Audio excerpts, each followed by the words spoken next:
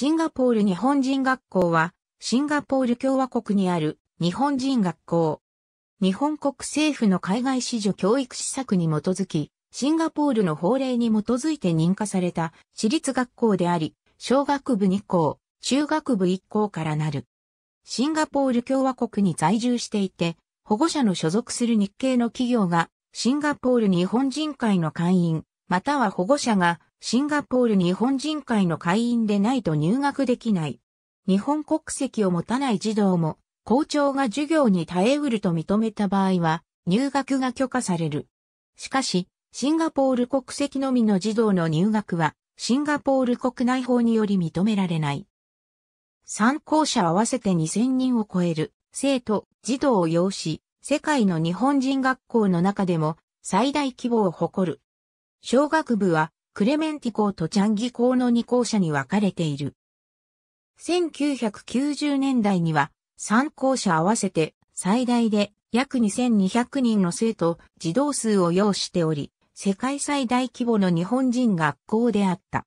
生徒、児童の通学範囲が広いため、生徒、児童のうち学校近辺に住んでいる者以外の多くは、スクールバスを利用して通学している。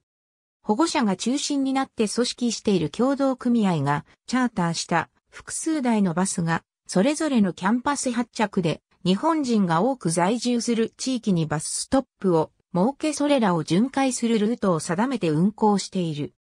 教員は学校教育原則として日本の文部科学省から海外日本人学校への派遣教員として研修を受けた者が3年の任期で派遣される。これ以外に海外市場教育財団推薦の日本人教師が採用されており、現地採用の教員として、英語を母語とする英会話教師を含む外国人教師や日本人教師が雇用されている。21世紀に生きる日本人として豊かな国際感覚を持ち、世界の人々とつながろうとする人材の育成であり、その達成に向かって次のような子供像、教師像、学校像を追求する。子供像を目指す、教師像を目指す、学校像この目的を実現するため、教育の柱を次のように定め、実践する。他の日本人学校と同様に、日本の文部科学省が定める学習指導要領に則っったカリキュラムで授業が行われている。小学部では1年時から週あたり5次元、英語を母語とする講師による英会話の授業が行われている。能力別クラスで通常、中学校から始まる英語の授業とは別に設けられる。外国人教員及び日本人教員が授業を受け持つ。中学部では週4次元の英会話に加え、家庭科、体育、音楽、美術の時間には英語を母語とする講師によるイマージョン授業が行われている。英会話は週4次元とも通常授業が行われる。また、週1で学年ごとに異なる5、6教科から自分の好きな授業を受けることのできる選択授業が行われる。他にも小学部は社会科の時間で文部科学省が認可した教材以外で特別な教材を使い戦争も含めたシンガポールの歴史、経済、政治などを学ぶ授業が行われている。中学部は総合的な学習の時間でシンガポールについての調べ学習や現地理解学習を行う。小学部の修学旅行はペナン島、バリ島、またはクアラルンプールを訪れる。中学部の修学旅行はベトナムのホーチミを訪れる。中学部は2017年度よりグローバルクラスを開設した。目的はシンガポール日本人学校の教育理念21世紀に生きる日本人として豊かな国際感覚を持ち、世界の人々とつながろうとする人材の育成を高いレベルで生徒たちに体験させてもらうためだ。教育内容は本校特有のイマーチョン授業に加え、イマーチョン学級、英語で授業、そして国際教養ゼミである。イマージョン学級は外国人教員と日本人教員の各1名ずつが担任を務め、学級活動や生徒の司会、発表も英語で行う、より英語を使う学校生活が送られる。また、数学と理科の英語での授業は、英語と日本語教員1名ずつが担当し、週3回英語で授業が行われ、週1回日本語で日本の学習指導要領に沿った授業が行われる。また、テストも日英の両言語で行われる。その結果、他のイマージョン授業、英語の時間を含め、週18時間もの英語の授業がある。また、この英語授業において、高い水準の資格の取得も目指している。特に、トーフルジュニアイブットを全員受験したり、中学2年で全員スフア B1 以上の取得を目指す。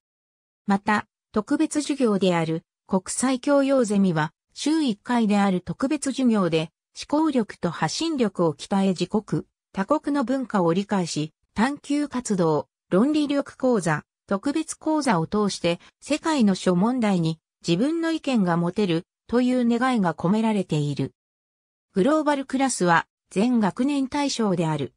昼食は弁当持参が基本だが、不可能な場合は朝登校後に業者に日替わり弁当を注文することができる。当初は9ドル弁当と呼ばれる量の多いものだけであったが、食べきれないもののために5ドル弁当も注文可能となった。業者の会社によっては価格及び品物の変更あり、日本の学校と同じように、クラブ活動が行われる。朝練はなく、基本火曜日、水曜日、木曜日の放課後のみある。